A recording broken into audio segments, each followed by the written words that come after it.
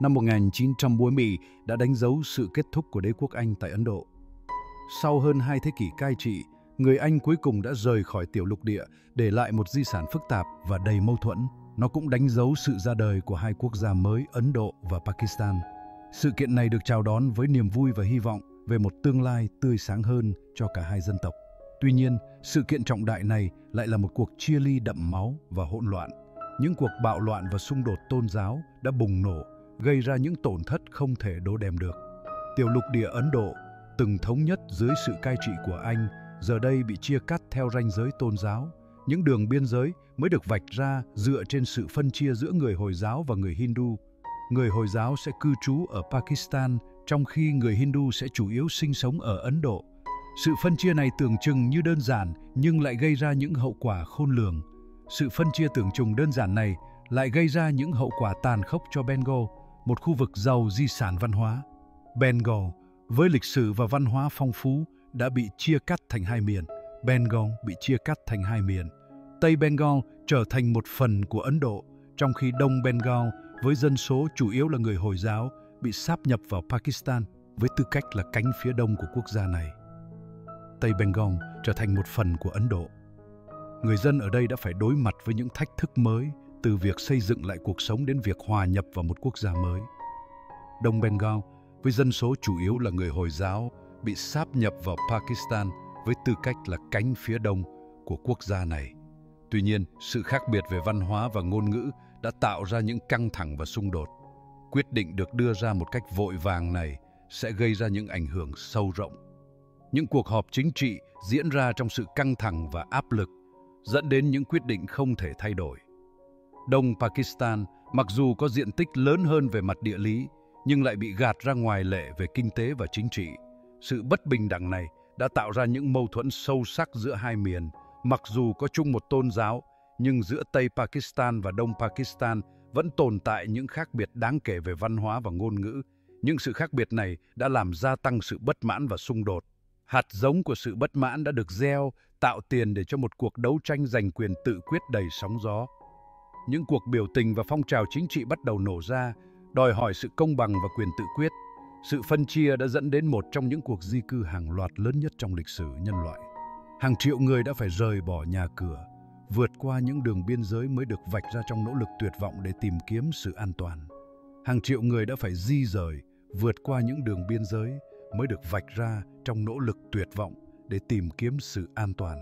Những trại tị nạn mọc lên khắp nơi, chứa đựng những câu chuyện đau lòng về sự mất mát và hy vọng. Bạo lực bùng phát, cướp đi sinh mạng của hàng trăm ngàn người. Những cuộc xung đột tôn giáo và sắc tộc đã để lại những vết thương sâu sắc trong lòng người dân. Nỗi đau của sự chia cắt sẽ để lại một dấu ấn không thể phải mở trong ký ức tập thể của cả Ấn Độ và Pakistan, đặc biệt là trong trái tim của người dân Bengal.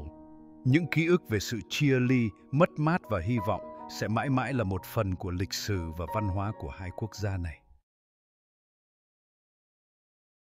Việc thành lập Pakistan như một quốc gia bị chia cắt về mặt địa lý đã đặt ra những thách thức đặc biệt ngay từ đầu. Sự phân chia này không chỉ là về mặt địa lý mà còn về văn hóa, ngôn ngữ và kinh tế, tạo ra một sự khác biệt rõ rệt giữa hai vùng đất. Tây Pakistan với vị trí gần các trung tâm quyền lực đã nhanh chóng khẳng định vị thế thống trị của mình. Các chính trị gia và quan chức ở Tây Pakistan đã tận dụng lợi thế này để củng cố quyền lực và kiểm soát các nguồn lực quốc gia. Đông Pakistan, mặc dù là nơi sinh sống của phần lớn dân số, nhưng lại bị đẩy vào vai trò thứ yếu. Sự đông đúc và mật độ dân số cao đã tạo ra những thách thức riêng, nhưng những thách thức này thường bị bỏ qua bởi chính quyền trung ương. Sự tranh lệch này đã gây ra sự phẫn nộ và gieo rắc mầm mỏng bất mãn trong cộng đồng người Bengal. Những cuộc biểu tình và phản đối bắt đầu nổ ra, thể hiện sự bất mãn ngày càng tăng đối với sự bất công và sự thiếu công bằng. Ngôn ngữ Bengal, nền tảng của bản sắc Bengal, đã phải đối mặt với sự đàn áp ngay lập tức. Văn hóa và ngôn ngữ Bengal không chỉ là phương tiện giao tiếp mà còn là biểu tượng của niềm tự hào và bản sắc dân tộc. Tiếng Urdu được sử dụng chủ yếu ở Tây Pakistan, được tuyên bố là ngôn ngữ quốc gia duy nhất. Quyết định này không chỉ là một sự áp đặt ngôn ngữ mà còn là một sự phủ nhận văn hóa và bản sắc của người Bengal. Quyết định này đã gây ra sự phẫn nộ ở Đông Pakistan, nơi tiếng Bengal được trân trọng sâu sắc như một biểu tượng của niềm tự hào văn hóa. Các cuộc biểu tình chống lại chính sách ngôn ngữ đã trở thành một phần không thể thiếu của cuộc đấu tranh cho quyền tự chủ và công bằng. Rõ ràng là tiếng nói và nguyện vọng của Đông Pakistan đã bị phớt lờ, càng khiến người dân Bengal thêm xa lánh. Sự phớt lờ này không chỉ là về mặt ngôn ngữ mà còn về các vấn đề kinh tế, chính trị và xã hội. Sự chênh lệch về kinh tế càng làm trầm trọng thêm tình hình. Đông Pakistan mặc dù có nhiều tài nguyên nhưng lại không được hưởng lợi từ sự phát triển kinh tế của quốc gia.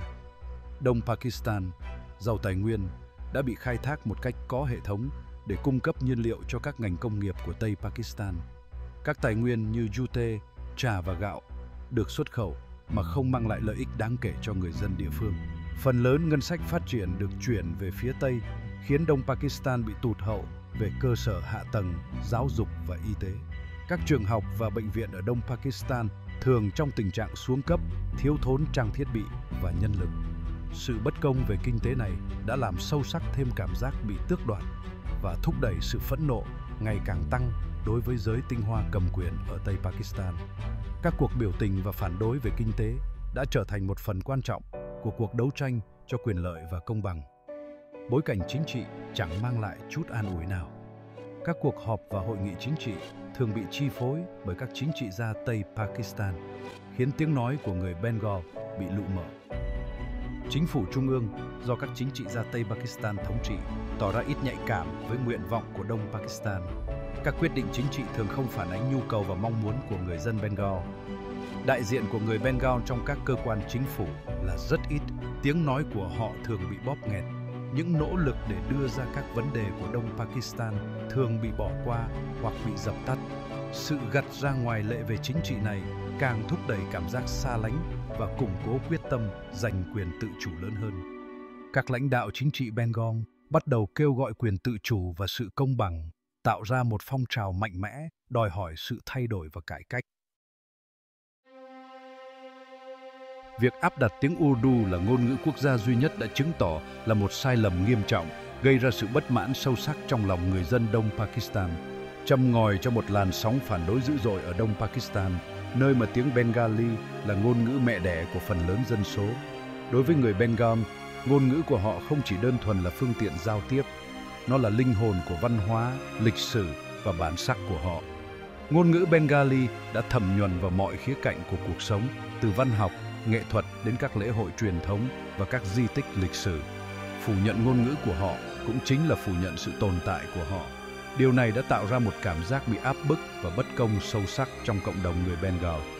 Vào ngày 21 tháng 2 năm 1952, sinh viên và các nhà hoạt động đã xuống đường ở Dhaka, thủ đô của Đông Pakistan, yêu cầu công nhận ngôn ngữ yêu quý của họ. Những biểu ngữ và khẩu hiệu bằng tiếng Bengali đã trở thành biểu tượng của cuộc đấu tranh, thể hiện khát vọng được công nhận và tôn trọng. Cuộc biểu tình được thúc đẩy bởi nhiều năm uất ức dồn nén và khát khao được công nhận văn hóa sâu sắc đã vấp phải sự đàn áp tàn bạo. Cảnh sát đã nổ súng vào những người biểu tình ôn hòa, giết chết nhiều sinh viên. Những hình ảnh đau lòng về cảnh sát ban vào đám đông, những người bị thương và hỗn loạn đã gây chấn động khắp đông Pakistan. Cái chết của những người biểu tình trẻ tuổi này giờ đây được tôn kính như những người tù vì đạo đã gây chấn động khắp đông Pakistan. Những sinh viên đã hy sinh trong cuộc đấu tranh này được coi là những người tu vì đạo và cái chết của họ đã trở thành biểu tượng của sự hy sinh và lòng dũng cảm. Sự kiện này được gọi là phong trào ngôn ngữ đã trở thành một thời khắc quan trọng trong cuộc đấu tranh giành quyền tự quyết của người Bengal. Phong trào ngôn ngữ không chỉ là một cuộc đấu tranh cho ngôn ngữ mà còn là một cuộc đấu tranh cho quyền tự quyết và sự công nhận văn hóa. Nó đã tiếp thêm sức mạnh cho người dân Bengal đoàn kết họ vượt qua những chia rẽ về tôn giáo và xã hội trong nỗi đau buồn và phẫn nộ chung. Phong trào ngôn ngữ đã thay đổi cục diện chính trị, xã hội của Đông Pakistan. Nó đánh dấu sự khởi đầu của một hành trình dài và gian khổ, hướng tới sự tự khẳng định, một cuộc chiến đấu cho sự công nhận văn hóa và cuối cùng là một yêu cầu về quyền tự trị chính trị. Máu của các liệt sĩ đã tưới mát cho hạt giống của chủ nghĩa dân tộc Bengal tạo tiền để cho các phong trào trong tương lai sẽ thách thức chính nền tảng của Pakistan. Phong trào ngôn ngữ đã không chỉ là một cuộc đấu tranh cho ngôn ngữ mà còn là một cuộc đấu tranh cho quyền tự quyết và sự công nhận văn hóa. Nó đã tiếp thêm sức mạnh cho người dân Bengal, đoàn kết họ vượt qua những chia rẽ về tôn giáo và xã hội trong nỗi đau buồn và phẫn nộ chung. Phong trào ngôn ngữ đã thay đổi cục diện chính trị, xã hội của Đông Pakistan. Nó đánh dấu sự khởi đầu của một hành trình dài và gian khổ hướng tới sự tự khẳng định, một cuộc chiến đấu cho sự công nhận văn hóa và cuối cùng là một yêu cầu về quyền tự trị chính trị. Máu của các liệt sĩ đã tưới mát cho hạt giống của chủ nghĩa dân tộc Bengal, tạo tiền đề cho các phong trào trong tương lai sẽ thách thức chính nền tảng của Pakistan. Phong trào ngôn ngữ đã không chỉ là một cuộc đấu tranh cho ngôn ngữ mà còn là một cuộc đấu tranh cho quyền tự quyết và sự công nhận văn hóa. Nó đã tiếp thêm sức mạnh cho người dân Bengal, đoàn kết họ vượt qua những chia rẽ về tôn giáo và xã hội trong nỗi đau buồn và phẫn nộ chung. Phong trào ngôn ngữ đã thay đổi cục diện chính trị, xã hội của Đông Pakistan. Nó đánh dấu sự khởi đầu của một hành trình dài và gian khổ hướng tới sự tự khẳng định, một cuộc chiến đấu cho sự công nhận văn hóa và cuối cùng là một yêu cầu về quyền tự trị chính trị. Máu của các liệt sĩ đã tưới mát cho hạt giống của chủ nghĩa dân tộc Bengal, tạo tiền để cho các phong trào trong tương lai sẽ thách thức chính nền tảng của Pakistan. Phong trào ngôn ngữ đã không chỉ là một cuộc đấu tranh cho ngôn ngữ mà còn là một cuộc đấu tranh cho quyền tự quyết và sự công nhận văn hóa. Nó đã tiếp thêm sức mạnh cho người dân Bengal, đoàn kết họ vượt qua những chia rẽ về tôn giáo và xã hội trong nỗi đau buồn và phẫn nộ chung. Phong trào ngôn ngữ đã thay đổi cục diện chính trị, xã hội của Đông Pakistan. Nó đánh dấu sự khởi đầu của một hành trình dài và gian khổ, hướng tới sự tự khẳng định, một cuộc chiến đấu cho sự công nhận văn hóa và cuối cùng là một yêu cầu về quyền tự trị chính trị. Máu của các liệt sĩ đã tưới mát cho hạt giống của chủ nghĩa dân tộc Bengal, tạo tiền để cho các phong trào trong tương lai sẽ thách thức chính nền tảng của Pakistan. Phong trào ngôn ngữ đã không chỉ là một cuộc đấu tranh cho ngôn ngữ mà còn là một cuộc đấu tranh cho quyền tự quyết và sự công nhận văn hóa. Nó đã tiếp thêm sức mạnh cho người dân Bengal, đoàn kết họ vượt qua những chia rẽ về tôn giáo và xã hội trong nỗi đau buồn và phẫn nộ chung. Phong trào ngôn ngữ đã thay đổi cục diện chính trị xã hội của Đông Pakistan. Nó đánh dấu sự khởi đầu của một hành trình dài và gian khổ hướng tới sự tự khẳng định, một cuộc chiến đấu cho sự công nhận văn hóa và cuối cùng là một yêu cầu về quyền tự trị chính trị. Máu của các liệt sĩ đã tưới mát cho hạt giống của chủ nghĩa dân tộc Bengal, tạo tiền để cho các phong trào trong tương lai sẽ thách thức chính nền tảng của Pakistan. Phong trào ngôn ngữ đã không chỉ là một cuộc đấu tranh cho ngôn ngữ, mà còn là một cuộc đấu tranh cho quyền tự quyết và sự công nhận văn hóa. Nó đã tiếp thêm sức mạnh cho người dân Bengal, đoàn kết họ vượt qua những chia rẽ về tôn giáo và xã hội trong nỗi đau buồn và phẫn nộ chung phong trào ngôn ngữ đã thay đổi cục diện chính trị xã hội của Đông Pakistan. Nó đánh dấu sự khởi đầu của một hành trình dài và gian khổ hướng tới sự tự khẳng định, một cuộc chiến đấu cho sự công nhận văn hóa và cuối cùng là một yêu cầu về quyền tự trị chính trị. Máu của các liệt sĩ đã tưới mát cho hạt giống của chủ nghĩa dân tộc Bengal, tạo tiền để cho các phong trào trong tương lai sẽ thách thức chính nền tảng của Pakistan.